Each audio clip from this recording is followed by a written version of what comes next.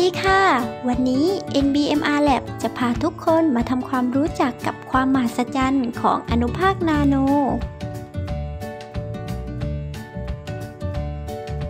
เริ่มจากเรามาทำความรู้จักกับอนุภาคนาโนกันก่อนนะคะ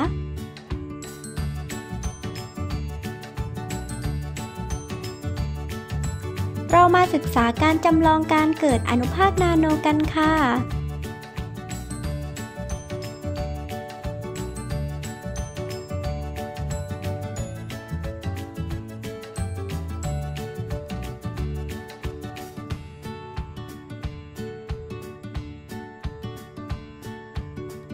การสังเคราะห์อนุภาคนาโน เริ่มจากการนำวัสดุที่มีขนาดใหญ่ ผ่านกระบวนการทางเคมี จนอนุภาคมีขนาดเล็กลงในระดับนาโน เมื่ออนุภาคมีขนาดเล็กลงจะทำให้มีพื้นที่ผิวเพิ่มขึ้น ต่อมาเราจะพาทุกคนมาทำความรู้จักกับอนุภาคนาโนทอง ที่เป็นตัวอย่างหนึ่งของอนุภาคนาโนกันค่ะ ทองคำแท่งจากที่มีขนาดใหญ่มากๆ มองเห็นได้ด้วยตาเปล่า สามารถสังเคราะห์ให้กลายเป็นอนุภาคนาโนทอง ที่มีรูปร่างต่างๆ กระบวนการสังเคราะห์นาโนทอง เริ่มจากทองคำแท่งนำมาละลายจนเป็นสารละลายทอง จากนั้นเติมสาร reducing ลงไป เมื่อเสร็จสิ้นกระบวนการสังเคราะห์ จะเห็นสีของสารละลายที่เปลี่ยนไป เพราะอนุภาคนาโนทองมีขนาดเล็กลงในระดับนาโน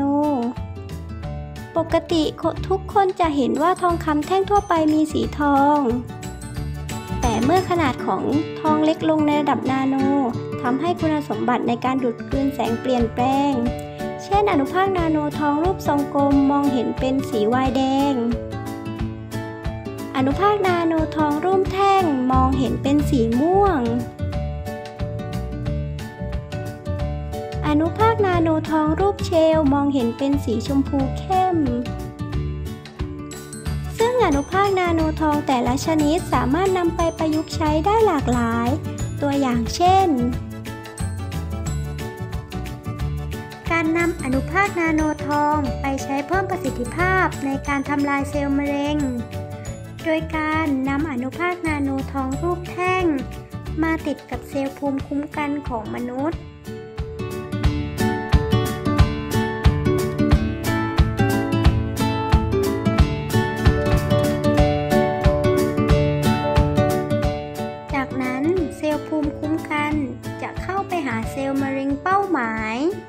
และมีการยิงแสงเลเซอร์ที่มีความยาวคลื่นเฉพาะ อนุภาคนาโนทองจะดูดกลืนพลังงานจากแสงเลเซอร์ และเปลี่ยนเป็นพลังงานความร้อน ช่วยเพิ่มประสิทธิภาพในการทำลายเซลล์มะเร็ง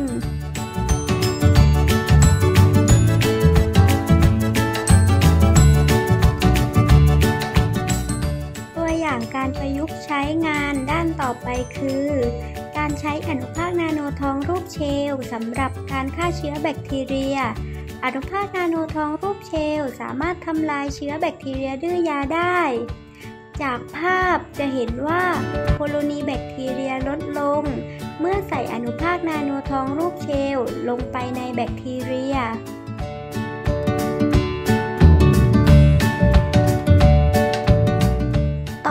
คือการใช้อนุภาคนาโนทองทรงกลมในผลิตภัณฑ์เครื่องสำอาง